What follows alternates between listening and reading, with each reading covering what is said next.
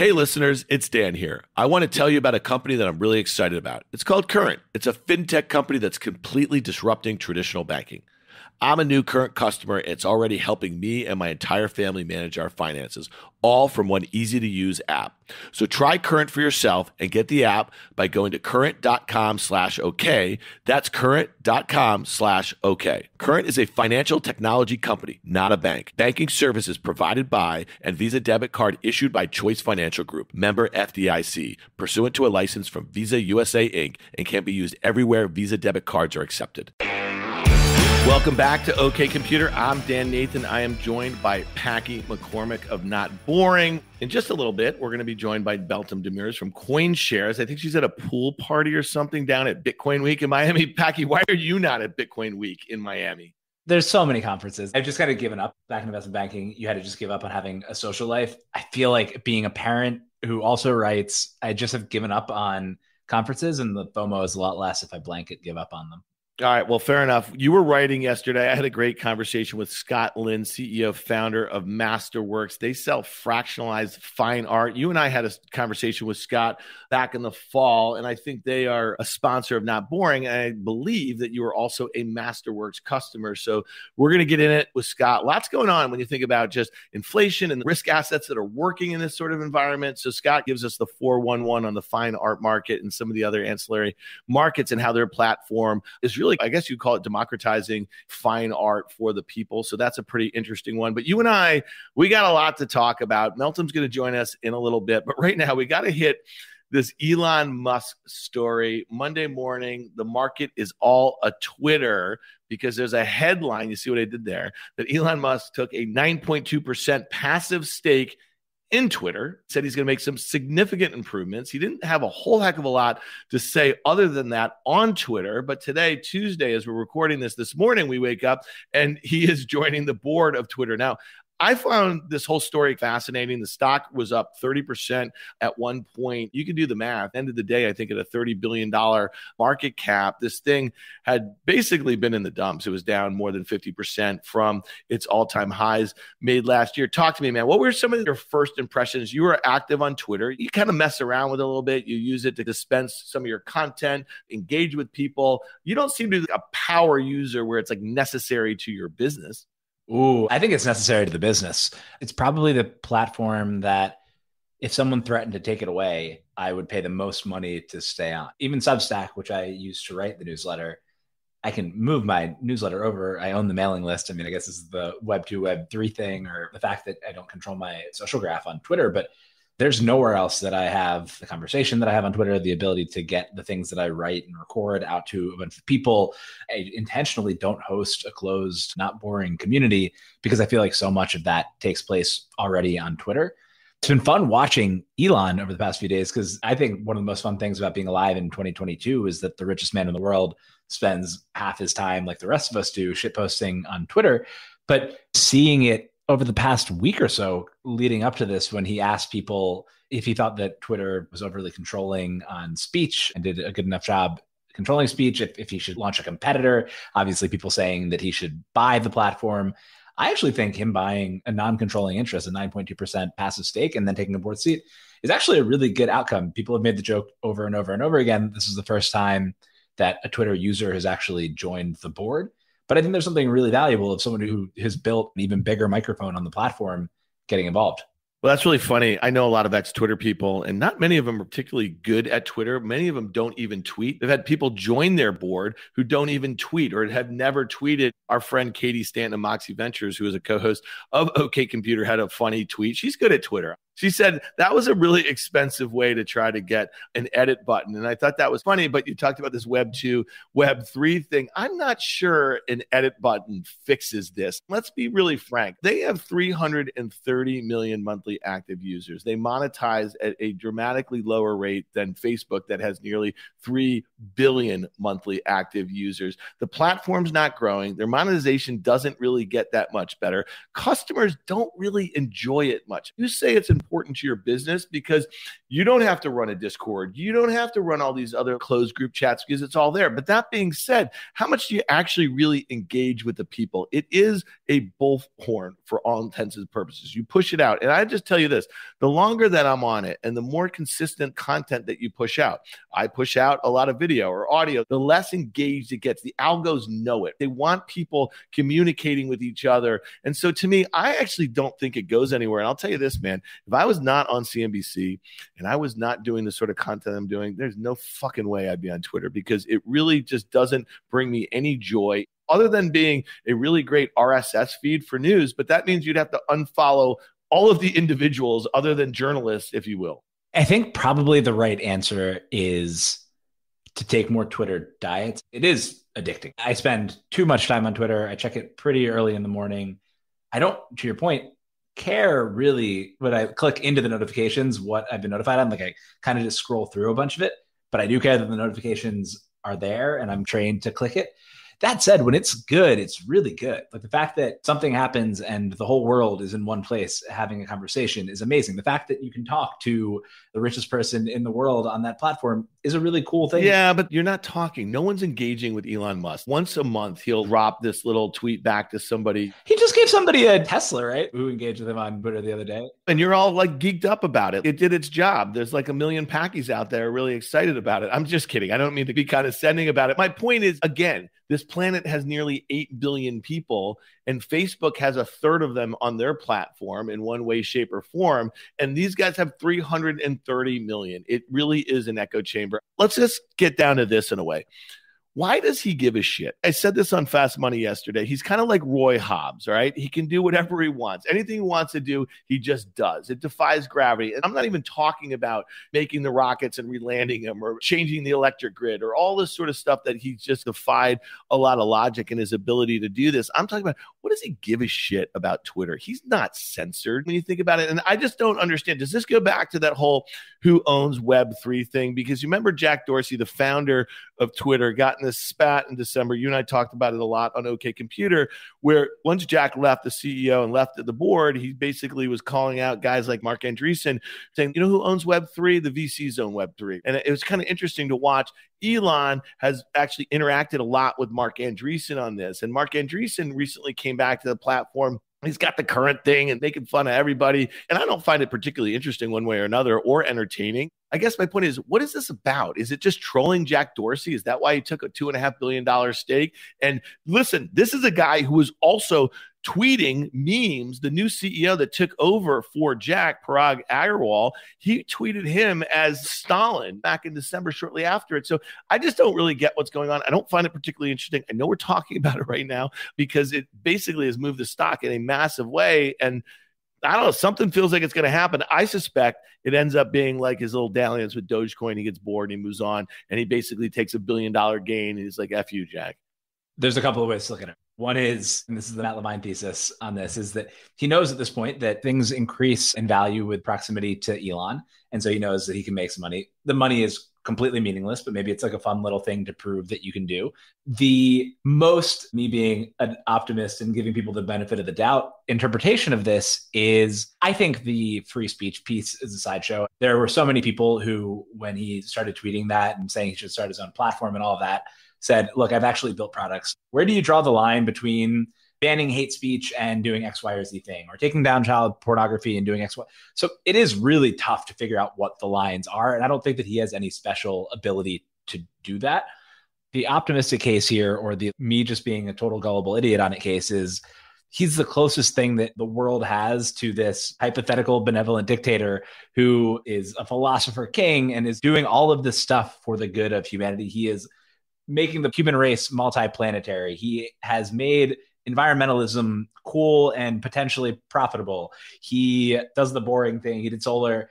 And what is the point of going to the stars and of keeping the planet going for all this time if everybody's just in this cesspool yelling at each other? And so maybe he thinks, look, I can come and make this place more fun or help on the bot problem. It just feels like one of those meta problems that even if humans can live forever, if you can't figure out the discourse and you can't figure out a way for people to talk to each other in this new world, what's the point? So that's the best case. Let me just tell you this Packy, I'm a bit older than you, and you grew up on all these platforms. I've figured them out and I know how to use them. There are very few Americans who actually really give a shit about this story. Our listeners care about it, and we're the ones talking about it and tweeting about it and podcasting about it or whatever. Most people just don't give a shit at the end of the day. The other thing that's really interesting is, is we're supposedly coming out of this pandemic after more than two years now, and you think of all the loss of life and hardship and all that sort of stuff. And you look at a guy like Elon and you call him a benevolent dictator and all this stuff that he's been able to do. And at the end of the day, and very sadly, and I'm not wishing anything on him, if he didn't exist tomorrow, it'd be like that scene in Jerry Maguire where Jerry leaves the office after getting canned and everything just goes back to its daily life. If that is true with Elon, what is the fucking point? If Elon goes away and everything goes back to the way that it was. At some point, you can kind of reductio ad absurdum anything. No, it goes back to rockets going to outer space and coming back and landing. There's other organizations, there's other people can do it. There's other people who can make EVs. Other people didn't start doing it before Elon started doing it, at least moving that way. EVs were Toyota Priuses. Maybe you get there, but maybe it's five years later when you have 30 years to reverse this thing. Five years really matters. And I do think that he's had a real meaningful impact. And I think some of the things that he does are totally fucking stupid. Like I think a lot of the stances that he took in the beginning of COVID were kind of dumb. There have been many, many times when he looks like this gesture and his SNL appearance was a little bit sad. I'm not purely defending Elon, but I think on those couple of cases to say, look, let's go do some really, really hard things that feels like humans haven't been doing for a while. I think that that is an immeasurable contribution to humanity. Yeah, well, I'll tell you one thing who should be watching his ass right now is Parag Agrawal if Twitter has all these problems, they're primarily technical. They're things that Facebook have figured out from a technical standpoint, and they have not been able to figure it out and then scale them in a way. So the idea of replacing the founder with the CTO who'd been there for a very long time doesn't make a whole heck of a lot of sense with me. I'm sure Elon looks at him and thinks that he's basically he couldn't hold his jock. So good luck with that one. They're going back and forth on Twitter last night before they announced the board thing this morning, where Elon did a poll on whether or not there should be an edit button, and Parag retweeted it and said the impact of this will be important, alluding to the fact that the poll would lead to an edit button or not an edit button. So he's having fun with it now. I don't know if it matters. It's funny though, an open API fixes that, an edit button fixes that. I just don't get it. I mean, the problem is is that if you haven't used Twitter already and you have a smartphone in your hand and you have a brain in your head, then you're not likely to use it anytime soon unless there's a whole new suite of offerings or a whole new user experience. So to me, good luck with that. I do think on one of those technical issues, and I can't remember what it was when Elon was going back and forth with Parag, you know, that dude Boz over there at Facebook, he weighed in and he was like, no, that's not a big technical issue. We fixed that years ago. And then Elon just responds to him Facebook gives me the willies, which I freaking love. That's like amazing. again, I think when we're talking about it in our little bubble, in our echo chamber, it's kind of fun to talk about it in fast money. We're leading with it two nights in a row. We can't quit Elon. At the end of the day, it's not too different than, I guess, the whole Trump fascination by the media. They know it works. They know it's engaged. They know it's one of those things where people are going to take different sides and get hot on it. So, a Twitter bull case that would have accounted for this ahead of time would be something along the lines of a disagreement with, I think, your fundamental point here that Twitter is not important. It has 330 million users. I think they've done an okay job of not counting trolly users. People are super, super, super engaged. I can't remember the last time I used Facebook. I rarely use Instagram. I think the way they're monetizing it is wacky. Their ad product has never worked. I think they could sell a high end subscription product. I think there's a bunch of stuff that they could do to turn the business around. But the thesis would be that I think it's really hard for this group of call it a quarter of those 330 million users. I think among that group, it's the stickiest product there is. And so it has a lot of time to figure out some way of turning the business into a good business. I think more than a lot of other businesses. It didn't have a lot of time because the stock literally two weeks ago was trading like 15% above its IPO price from 19 years ago. I saw Ned Segal, the CFO of the company, a couple months ago, right after they had a very disappointing earnings report and they announced some huge buyback. And I said to him, I was a couple drinks in at this point, I was like, watch out, activists are coming. They do not want to see your broken product, the company using one of their most important resources right now, which is their cash, to be buying back their stock. It sends the wrong signal. So to me, I'll be very frank, and I've said it probably on OK Computer, I've said it on Fast Money. What actually needs to happen is Snap needs to merge with Twitter, and Evan Spiegel needs to take over the company, and they need to advance the product the way that he's been successfully able to push his thing along. That to me seems like a layup, or it needs to be a feature on a much larger platform like Google, where Google has six or seven products that have over a billion users. I know you say that, but one of the things that you use every day for no good reason is Google. The other argument, I'm not even this pro Twitter. I love the product, whatever, but I do think Google is degrading. The results are getting worse and worse. At least Twitter's core product both a blessing and a curse that it's evolved very, very little. Do you think YouTube is getting worse and worse? YouTube is good. Twitter has one killer app and it's real time search. And that is that whole RSS news aspect that we're talking about. Listen, you and I could go on and on. We have Meltem Demirors. She's coming in. We're going to talk about a couple Starks. It's not Game of Thrones, but we're going to talk about this guy, John Reed Stark, in a Twitter thread the other day that Meltem texted to me and said was clownish. We're going to talk about Elizabeth Stark in the Lightning Network. That will be interesting. We're going to go back to Fred Wilson because Fred is a prolific blogger. He doesn't do podcasts, I hear, but he had a really interesting post the other day on scaling the Ethereum ecosystem. Love to get your take on all of that. So stick around. We'll be right back. Hey, Dan. What up, guy? You're into this fintech. What's all this I'm hearing about Current? You're going to like this guy. Current is a fintech company that's completely disrupting traditional banking. Wait a second. Does that mean I don't have to drive to the bank anymore? yeah, exactly. I'm a new Current customer and I manage all of my finances from one easy to use app. Well, I got to get this app, but where can I learn more? It's super easy. Just go to current.com slash OK, O-K-A-Y, and download the app. That's current.com slash OK. Current is a financial technology company, not a bank. Banking services provided by and Visa debit card issued by Choice Financial Group, member FDIC, pursuant to a license from Visa USA Inc., and can be used everywhere Visa debit cards are accepted. All right, we're back. We have Meltem. Meltem was a little late. She didn't meet her call time, as we call it in the biz. But Meltem, Packy and I just had a fun back and forth on all this Elon stuff with Twitter. But here was a Twitter thread that I thought was really interesting by a guy named John Reed Stark. And Michael Burry, the Michael Burry from The Big Short, tweeted this out. You know, the guy who Christian Bale played in the movie. And I thought this was really interesting because this guy Stark, the first part of his thread, I worked at the SEC for 18 plus years, the last 11 as a chief of the SEC Office of Internet Enforcement. I've taught cyber law at Georgetown and Duke Law for 20 years. I spent five years at Stroz Friedberg fighting cybercrime. Why I believe the bulk of Web3 is both scourge and scam. And we could go on and on. We'll put the tweet thread in show notes. But Meltem, you had one response to me over text clownish. Talk to me, sister. I think what I said originally was cope. First of all, if you read the first tweet, he posted it on April 1st. I thought it was a joke, and I had to read it several times to realize it wasn't a joke. So let's start by the first tweet in this thread. The first tweet, this gentleman does something that, using Cialdini's principles of persuasion, appeal to authority. He literally made a slide which belongs in slide hell. It's so bad. I didn't figure out what it was until I started actually reading what's on the slide. It's the logos of the different agencies and law firms where he worked. It's wild. And he does this thing where he appeals to authority and he's like, hey, I worked these institutions, I went to these prestigious universities, therefore you should trust me. If you know anything about crypto, you know that crypto doesn't care about who you are, where you went to school, number one. Number two, who would brag about being an enforcement at the SEC when you oversaw two decades of financial grift that resulted in not a single conviction or a single perpetrator of two of the largest financial crises in American history without a single person going to jail? That is your opening tweet. I think is immediate disqualifier.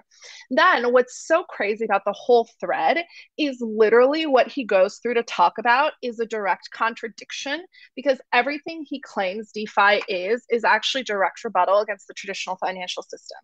I don't really understand if you're talking about banking in the sector you work in, if you're talking about crypto. And at the end of it, if you manage to make it all the way to the end, he ends the tweet thread with a shill for his personal blog and his consulting services, which I'm just like, read the room. The problem is, like me, I'm just a normie. I'm the guy with a mic and I'm talking to really smart people here and I'm trying to bring up kind of issues. But Dan, you're not a normie. You own a crypto dick butt. Yeah, I do. You know what's funny? I followed you into the dick butts and then I followed Packy into the chain runners there. And I'm just a follower. This guy's trying to protect me because I'm the one going deep in some of the weirdo stuff in NFT land. What was your take on this, Packy? Because listen, when you read something like this, there's stuff in there that you can say, okay, that makes sense. And there's a lot of people that should be reading this stuff because they probably need to think twice before buying a crypto dick butt. Not investment advice, but maybe crypto dick butt's not the best example to pick on. I think that's a pretty sound investment. My meta point on all of this is that everybody's fucking shilling something, and the the bears and the skeptics get away with it and seem smarter and more responsible. When the long arc of history is that if you listen to them and you don't participate in any way because they scare you away, you've lost more than you would have lost had you gotten involved and just tried to learn a little bit and done it responsibly. The rest of it, some stuff are fine points. None of it's new. He, to Meltem's point, appealed to authority and so packaged it up in a way that was look, look, look. All the stuff that everybody else has said.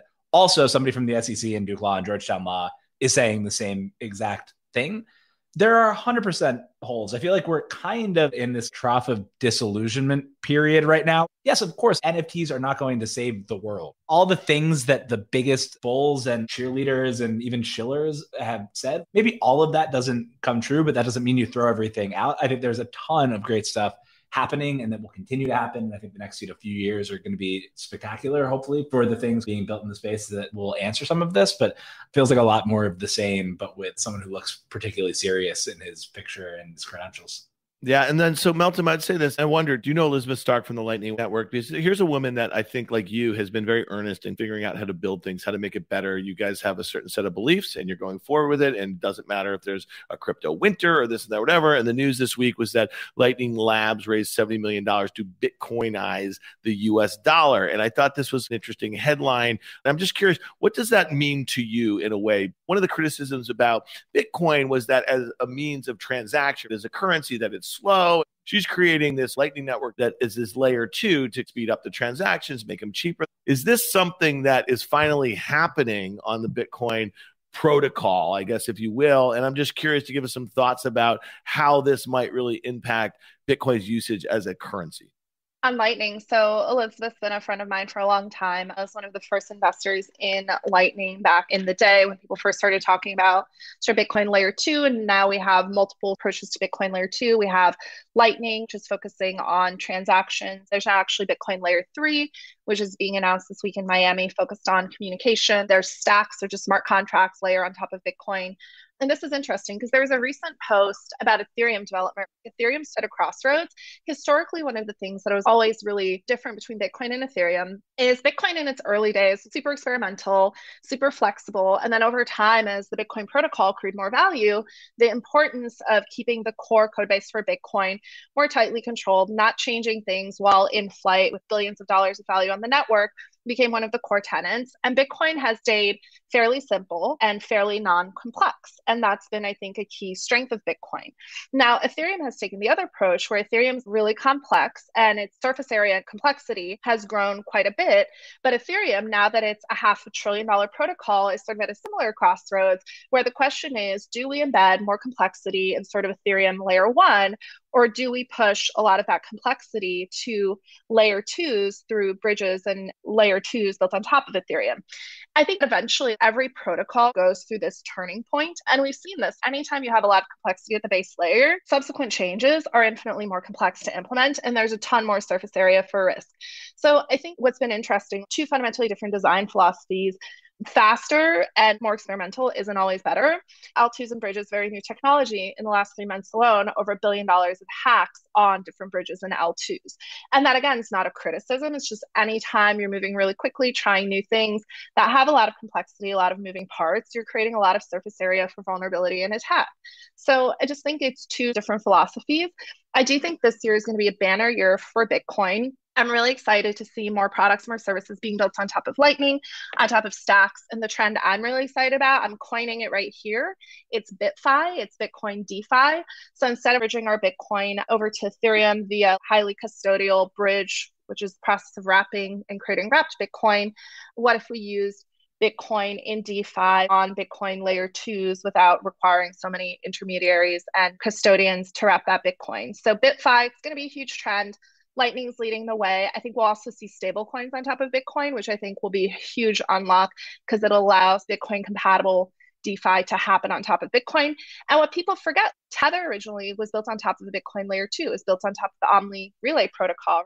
Tether grew on top of Bitcoin. It made dollars compatible with Bitcoin in terms of trading and settlement. And so I think a similar thing is going to happen this year with just a broader range of DeFi applications. I'm a bull on any and all innovation in the space and stuff that enables more. What I think Lightning Network is certainly in that category. I want to click into BitFi a little bit what are the types of things that you're seeing? Are things being built now? Do you think as layer three comes out or as Lightning grows, more things will be built? What's the state of the building on top of Bitcoin ecosystem right now?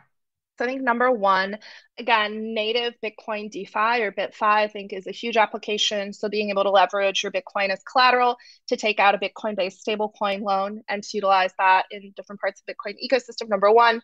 Number two, I think secure private peer to peer communication on top of Bitcoin is really compelling. What people always forget is blockchains are value transmission protocols, yes, but at its core, they're communication protocols. They're secure peer to peer communication protocols. It's just the messages we relay are UTXOs or unspent transaction outputs. And so it's information about Bitcoin transactions, but it is at its core a messaging protocol, a communication protocol. And so I think there's a lot of really cool stuff happening right now around using Bitcoin as a peer to peer transmission layer that includes new peer to peer video applications and video messaging applications. We're seeing the implementation of the first peer to peer file sharing applications that leverage both Bitcoin and IPFS on the back end, which for those who don't know, IPFS is a distributed file storage protocol. So instead of leveraging AWS and AWS data centers, you shard your data amongst multiple nodes and it's stored in this distributed network. Really cool fact IPFS today has one twelfth of the storage capacity of AWS. It's growing really quickly and it will very soon be one of the larger pieces of public cloud infrastructure that's fully decentralized.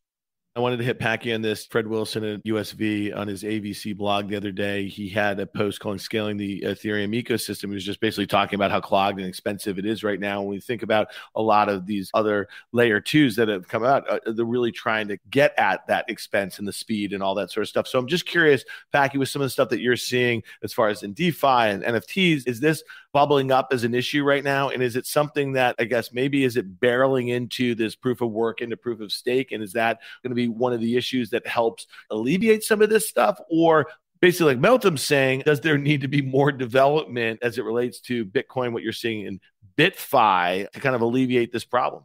Both. I think that there is a ton of money in the Bitcoin ecosystem that is unproductive right now. And so the more you can build on top of that, the better. And so I think that the BitFi thesis makes a ton of sense. At the same time, one of the things that I'm most excited for, I think, is this multi chain world. I talked to Brian Pellegrino at Layer Zero Labs last week, and they're building an easy way for you to say, swap something on Polygon with something on Ethereum, maybe bring Solana and Ethereum. So, not even necessarily two EVM compatible chains. Do that all without having to take the 12 steps that you might have to take right now to swap across chains the more that all of that stuff can disappear, I think the better the Web3 ecosystem is. I think crypto dick butts are just on Ethereum. So I don't know if you've had to have the pleasure of even trying to go over to Polygon, which I think is really great once you get over there. There is that panic when you're like, oh shit, I just moved a bunch of ETH over to this place and it's not showing up for a little while. So the more you can remove all of that stuff from the process, the better. That's what I think Fred's post was about, and basically saying that the non compatible with EVM, this is just the state of play right now, but hopefully this is the stuff that's being developed. All right, one last thing here, Meltem, before you get back to it. There was a Wall Street Journal article talking about short sellers betting against Tether. How annoyed are you by this story? It keeps popping back up. But I'll tell you, traditional finance people who are somewhat skeptical of crypto in general, they can't leave this story alone. And this story was talking about how a few investment firms, including Fir Tree and Viceroy Research, have placed substantial bets in recent months that the price of Tether will fall. Short sellers are betting that the $82 billion portfolio that underpins Tether's value, now the size of a big money market fund, is at risk of losses and that the parent company has not disclosed. Now, we know that, remember last summer when Coinbase, with their USDC, they made some disclosures about what was backing that. Why is it that this story persists? I think you have to go back to the financial crisis because when the money market broke the buck, that was really something that caused people to see something that they'd never seen before. And then really it just kind of opened the floodgates for what happened over the next couple of years. So I'm curious, why does this story persist? And what do people like you who are in the know, what do you know that some of these funds betting against Tether don't? So Bitcoin FUD or Bitcoin fear, uncertainty, and doubt has been around since I've been in the industry. So for the last eight years, there's three core pieces of FUD. Number one is Bitcoin mining is going to boil the oceans. And as we saw this week, right on cue, Chris Larsen from Ripple is paying Greenpeace and a bunch of other NGOs to basically do smear campaign on Bitcoin, which is great. Good luck with that. We've tried this before, but let's do this again. Two is that Tether is going to blow up. That's been around forever hilarious. And also, by the way, there's also this crazy narrative that persists that somehow USDC is better than Tether. And it's like, they're backed by the same stuff. Where do you put $70 billion of cash? Guess what? There's not a whole lot of places you can shove $70 billion of cash. There's really limited number of places. And then the third piece of Bitcoin FUD is that whales control Bitcoin and the Gini coefficient of Bitcoin is terrible and therefore Bitcoin shouldn't exist. And that's a whole scene. So look, the Tether FUD's been around forever. Good luck to these firms. Look, the free marketing value of this, maybe it's worth it. I've seen this story a thousand times, a thousand different ways. And we just keep repeating it. I'm like, guys, it hasn't happened yet. The probability at this point of it happening is very low, but like go off with your bad selves. And we're talking about it. So we're maybe to blame. Because if you look in the Wall Street Journal article, at some point they're like, yeah, actually, Genesis said that most of the shorts have covered their trades. So I don't even know what the point of the article was because the headline is firms shorting Tether. Packy, the message is Bitcoin bad, crypto bad. Hold on, guys. Hold on. A lot of people took their shorts off before Enron collapsed. I mean, come on. I'm not even saying that's like a good or a bad thing. I'm just saying that the story is about people putting these shorts on. And then halfway through the article, it was like, by the way, Genesis said that most of these shorts have come off in the past few months. There was no article, is all I'm saying. But it does continue to generate buzz.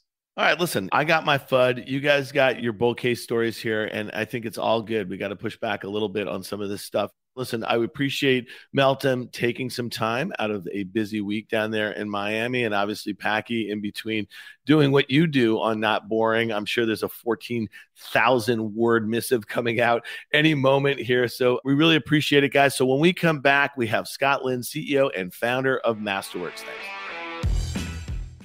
Hey, it's Dan here. I'm excited to tell you about a $1 billion app that's disrupting the way people like you and me invest. It's called Masterworks. They offer investors access to an estimated $1.7 trillion alternative asset that was once only accessible by the ultra wealthy. I'm talking about blue chip art. Blue chip art has seen price appreciation that's outpaced the S&P 500 by 164% from 1995 to 2021. And the Wall Street Journal recently called it among the hottest markets on earth. It's no wonder the ultra rich like Jeff Bezos recently sold tons of Amazon stock and bought more art. And now you can too with the art investment app called Masterworks.io. Join over 300,000 members for free on Masterworks.io. Just go to masterworks.art slash okcomputer, O-K-A-Y. A Y. That's masterworks.art slash okcomputer. See important disclosures at masterworks.io slash disclaimer. Scott Lynn is the founder and CEO of Masterworks.io, a company that he founded in 2017 that lets investors buy and sell shares in multi million dollar pieces of art. He's also been an active collector in contemporary art for more than 15 years. Before Masterworks, Scott founded Payability, a digital lending provider, in 2014. Scott Lynn, welcome back to OK Computer. How are you, bud? I'm doing great. Thanks for having me back. It's certainly our pleasure here. All right, let's talk about Masterworks a little bit because we had you on back in September and we had a good old fashioned debate with Packy McCormick. It really wasn't much of a debate because he's a huge Masterworks fan. I think he's a customer and he's invested in a bunch of paintings with Masterworks. But we were really trying to get to the bottom of this NFT craze. And it was a craze. This was early September and Visa had just bought, I think, a CryptoPunk and the apes were going crazy and it was just mania a little little bit. I think things have slowed down a little bit and interest has slowed down. I know that the floor values of some of the blue chip groups have increased, but you guys have also seen for a whole host of macro reasons that have nothing to do with all the Web3 stuff, increased interest. Your space in particular in the fine art space or traditional art, as you might define it, has actually also done really well. And a lot of that has to do with inflation expectations and maybe some volatility around traditional risk assets. But talk to us about your business. I think at the time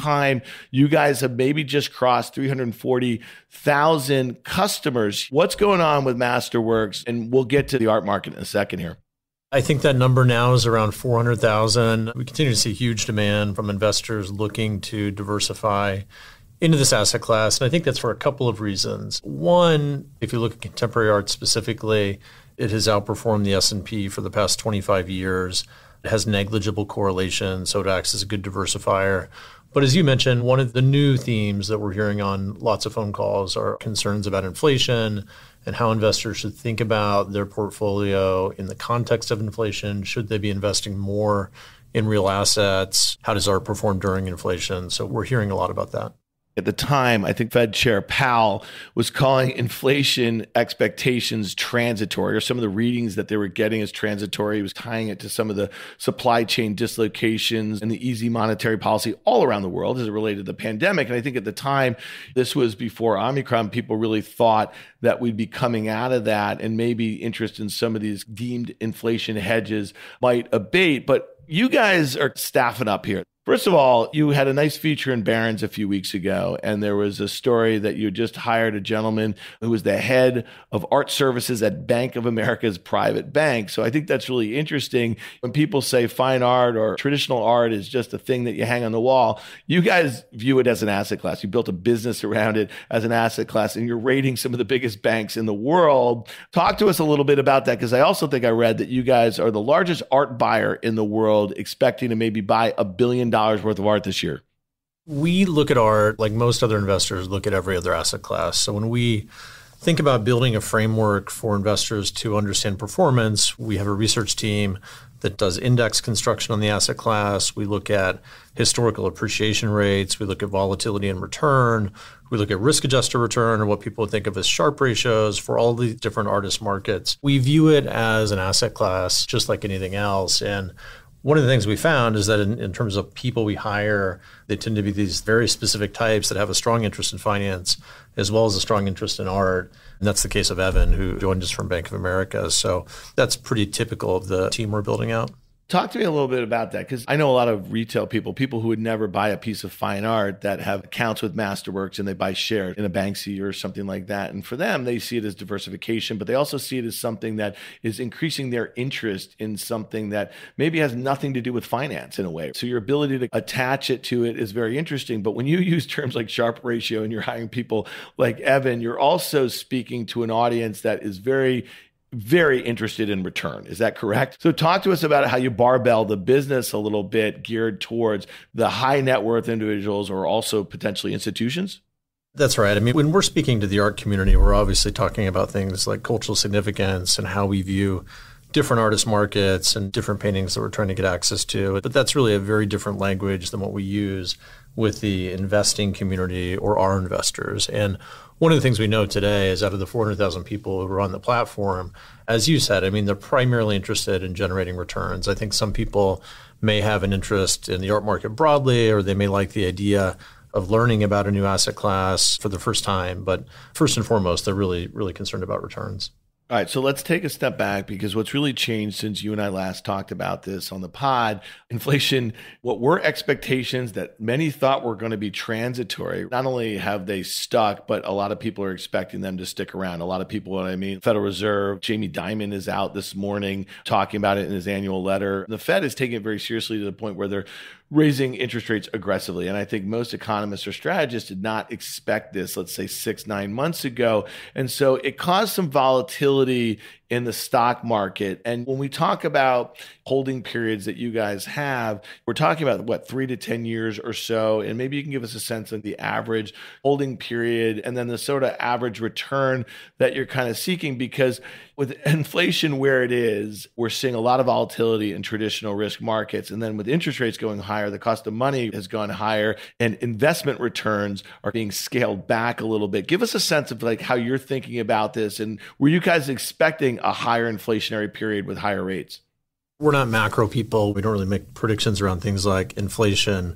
That being said, we have relationships with pretty much every major private bank. We provide a lot of the data on the art market for them to understand the asset class. So we have working relationships with most of them. And interestingly, I think private banks in today's world are divided with what their outlook on inflation is. With respect to art, we often get the question how does art behave in an inflationary environment? And the truth is, we don't exactly know. What we do know is that art prices have outperformed inflation as far back as our data goes, which is back to the 60s and 70s. So when you look at the 1970s in the US, which are inflationary times, we saw art prices really outperform inflation. Now, that doesn't necessarily mean that art is a hedge against inflation. It just means that for all the periods that we looked at, it's really outperformed inflation. That's kind of the extent of our thinking on art with inflation. But I think generally speaking and broadly speaking, you, you can say that real assets are a hedge, I guess, quote unquote, during inflationary times.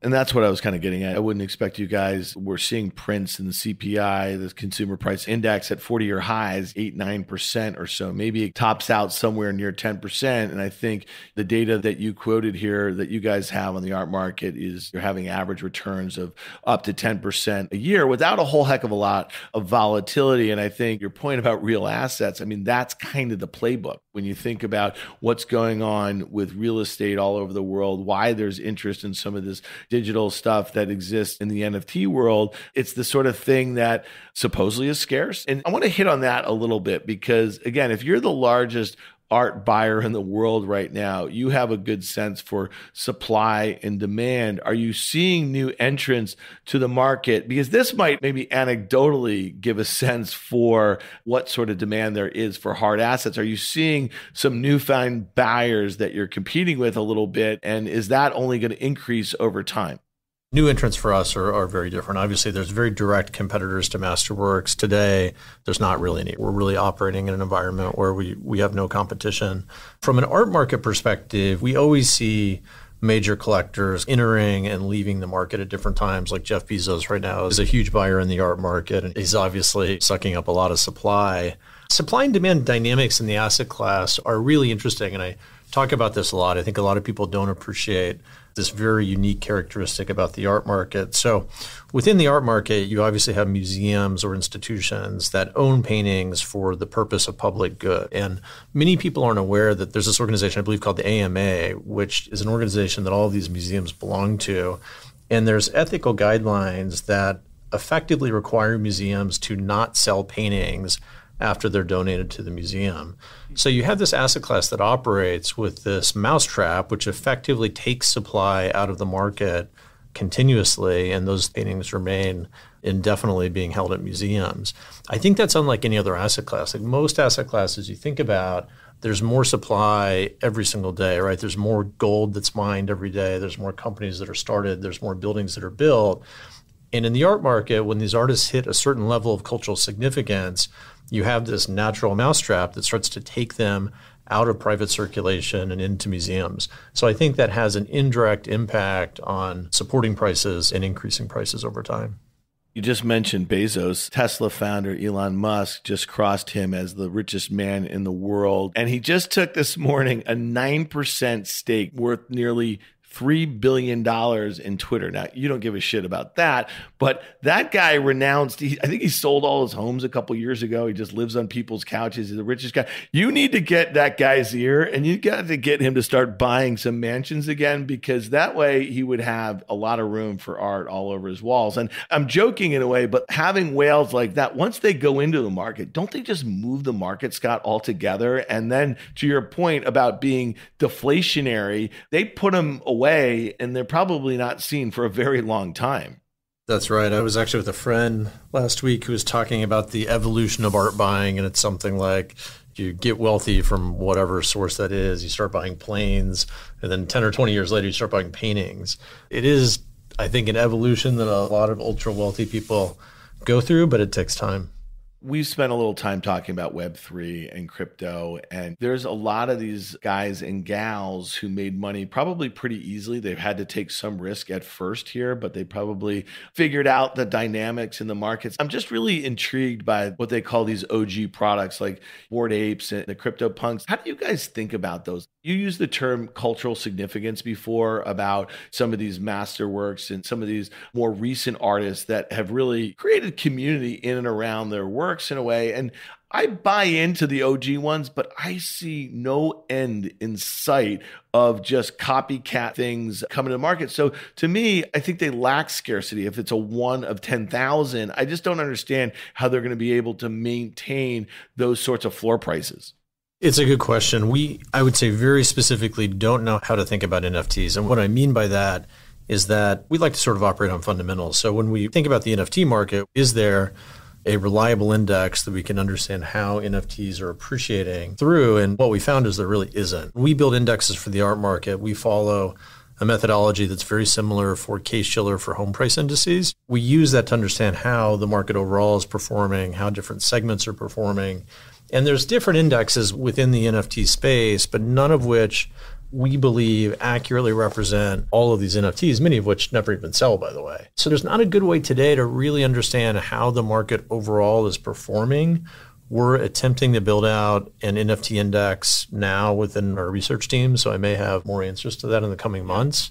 But right now, we think it's super interesting. We think in aggregate, it could be appreciating. We think it could be component of an art portfolio or an alternative portfolio down the road.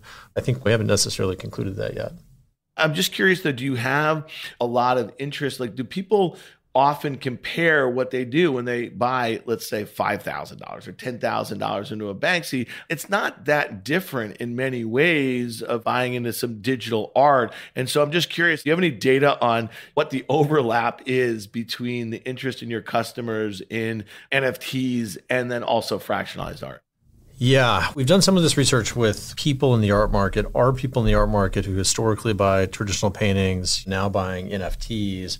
I would say that overlap is very small, but I would say the overlap is very high from self directed investors who are interested in exploring alternative asset classes generally.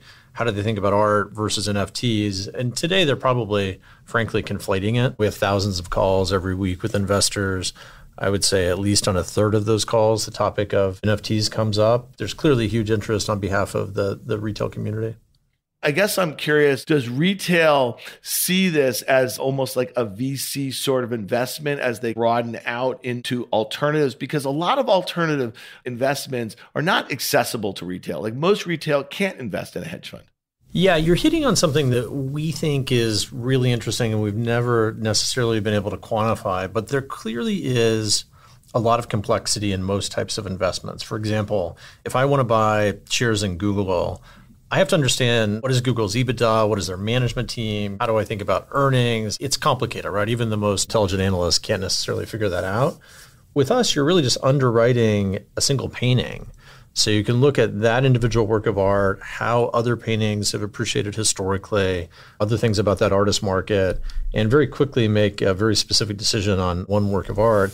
And I think there's a whole community of investors, particularly investors that are that are not traditional investors per se, that think that what we're doing it's just an easier way to invest. It's an easier way to look at individual investments in these paintings and decide which ones to invest in versus public companies or other things that are more complicated to understand.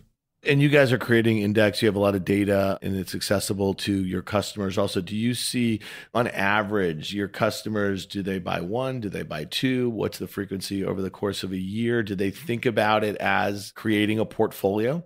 Yeah, definitely. I mean, most people are starting out by investing in two or three paintings. We tell people to think of, I think our latest recommendation is eight paintings to have sufficient diversification. It's a long term approach and really building a portfolio of paintings or artists that they find interesting. So, a lot of my friends in crypto, and I have a couple that run digital asset funds, they've been saying for years, and if you listen to this advice, it's actually really good advice. They're not telling you which crypto asset to buy, but they're saying that you should have, let's say, two to 5% of your investable capital exposed to crypto. Now, I'm not asking you to opine on that, but is there any thought process that you guys have that you would say, listen, if you want exposure to alternatives, you've been traditionally invested, let's say, in a 60 40 portfolio, exposed to traditional markets. Is there some sort of percentage that you think, based on the data that you have, makes sense for a lot of people now that they have the ability to do it, that they should have exposure to this market? Citibank actually did this asset allocation model first in 2015 on art as an asset class. And when they did it, they looked at all art. So contemporary art historically has performed much better than art overall. But they concluded in 2015 that someone should allocate between 1.4 and 4% of a portfolio to art depending on their tolerance for illiquidity. Now, what's so amazing about that is from an asset allocation model perspective, they published it, and then I think they probably quickly realized that nobody had a way in 2015 to allocate to the asset class. So they stopped doing the research after that.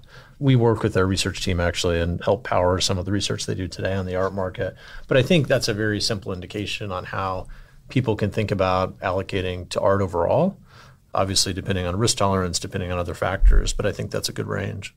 I don't know a whole heck of a lot about it, but it seems like a really large market. There was a stat in doing the research for this conversation. It was from Art Basel and UBS that in 2021, there was an estimated $65 billion in art sold last year. That's up nearly 30% from 2020. Can you put some context around that? Because for the most part, the bulk of that are large buyers, but you guys are sizing up. You talk about single digit million paintings, but you guys have your eyes on some bigger works.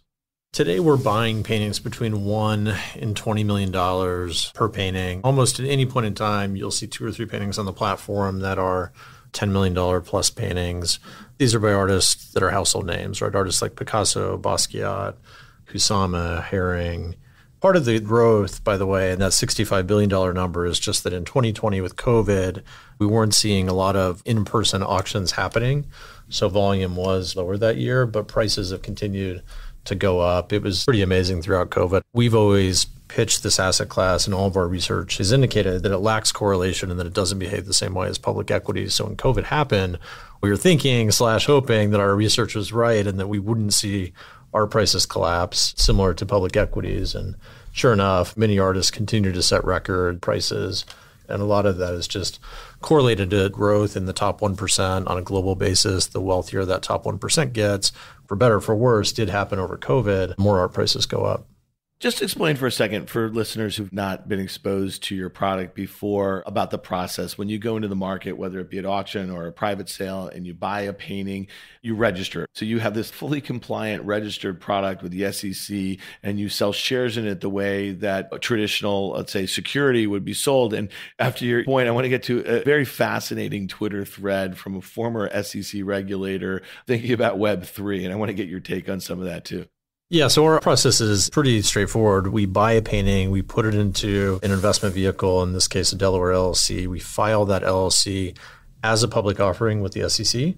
So if you go to sec.gov and search for Masterworks, you'll see hundreds of our investment vehicles, which look and feel like S1s of companies going public, but they're individual works of art that you can invest in. We've talked about fine art. We've talked about NFTs. We've talked about real estate. Will you guys broaden out into other collectibles and other things of great value, or are you just going to stick to fine art? Is there a bit of a roadmap that leads you to some different paths? I don't think so. We get asked this question all the time. And at the end of the day, my background really is in the art market. I've been collecting art for 20 years while starting technology companies. And it's an asset class that we really know. And, and our belief is that all of these platforms ultimately have to be asset managers. You have to bring good investments to people that make them money over time. And if you don't, or if your investors lose money, they'll ultimately abandon the platform. And we're very different from that perspective than almost every other investing platform out there. Like most of these companies, if you sit down with the CEO and really ask them, are you a platform or are you an asset manager? They would say, we 100% are a platform. And we just don't believe that that's really a choice. We think investors hold quote unquote platforms accountable for bad performing investments at the end of the day. So you're more or less an asset manager, whether you want to be one or not. I've been in the stock market for 25 years and retail interest has only gone bottom left, upper right. Now, there have definitely been some troughs there, and they had to do with the post dot com era, the post financial crisis. But man, oh man, early last year in 2021, it was the stock market and meme stocks, all the stuff that was going on with GameStop, and crypto was going crazy, just the digital tokens. But then the Beeple thing happened. And when the Beeple thing happened, you could have still minted bored apes for what thousands of dollars in gas fees or something like that and now the floor price is i think a hundred thousand dollars and some are trading for millions and so it was just an all-out retail frenzy at the time now things have cooled out and i'm just curious i have to assume that the gamification of traditional financial markets it ebbs and flows. But ultimately, and you said the advent of the internet, and I think that's a really good point. Real investors, we're in it for the long haul, only get more sophisticated. They only get more data. They only get more access to different markets. And so I'm just curious as we've seen the bottom fall out over the last year on the most speculative sort of stuff, are you guys seeing an increased interest when the market, the stock market in January and February was just going down, it seemed like almost every day and at the lows the S&P 500 was down 15%. Do you see investors coming to your platform? And I guess maybe I can answer the question because since we last talked, it looks like you guys have grown your customer base by 15 or 20% or something like that. Are you seeing increased interest when you see greater volatility in the broad market? Definitely. But I think it's coming from a different source than what a lot of other people think it's coming from. So clearly, if you go back to 2020, COVID is where a lot of this dynamic happened and investors were at home. I think increased volatility in public equities made people more concerned about their public portfolios. I think today, you mentioned it earlier, a lot of people are concerned about inflation. But I think when we think about inflation, we sort of think of it as this red herring that people are latched onto now. But I think the bigger risk to most people's portfolios over the next decade, 15 years, are just frankly the returns that public equities will deliver. If you look at every major private bank and what they're forecasting for public equities over the next decade, it's somewhere between three and seven or eight percent per year. And I think if you talk to most retail investors, which again, we have thousands of these phone calls every week, most retail investors think that their public portfolios will return 15% a year for the next decade. So, from a planning perspective and an expectation perspective, I think retail is just in for a real shock.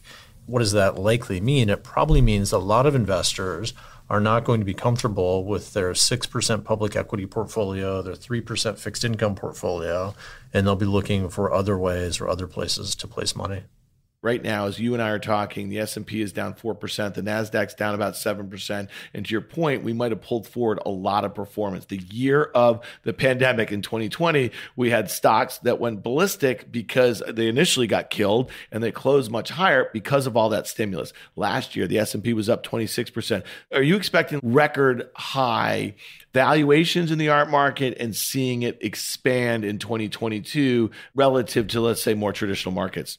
I'm not sure exactly how to think about that. Again, if you look at just contemporary art over the past 25 years, it's appreciated at roughly 14% a year, but it is non correlated. So, for example, we saw art prices slightly decline in 2016, likely due to Brexit or capital controls in China, while public equities outperform. So, I think when you're investing in art, you're somewhat making this non correlation bet that you're going to allocate money into an asset class that behaves differently than your public equity portfolio and maybe other investments you have.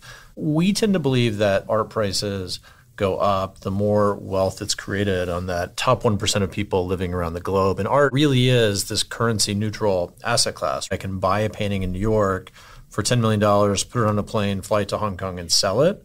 So it is this global currency that ultra wealthy people trade around the world. We tend to think that that population is getting wealthier for better or for worse. So therefore, we tend to believe that art prices continue to go up. Do you see some potential fire sales coming that might prove to be very opportunistic for Masterworks? And I mean this sincerely when you think about Russian oligarchs and some of the sanctions, the individual sanctions. I know that they've probably, to your point, been buying a lot of fine art for a very long time. Might you see either a lot of art be locked up for a while, or might you see really good opportunities and some big, big works that have just basically been locked up for a long time? It's a super fascinating question. And we've been thinking a lot about this with the Russian crisis because today, Russia is an insignificant part of the art market, maybe 1 or 2%. But if you went back 10 or 15 years, Russia was maybe 20% at the peak. There was a point in time where oligarchs were buying up a lot of art. So, if what was happening today would have happened back then, that would have been a material hit to the art market. As of yet, we haven't seen anyone really selling paintings that would be subject to these sanctions. My guess is many of those oligarchs that own art, this is now off their balance sheet and they creatively don't own it. But we haven't seen it yet.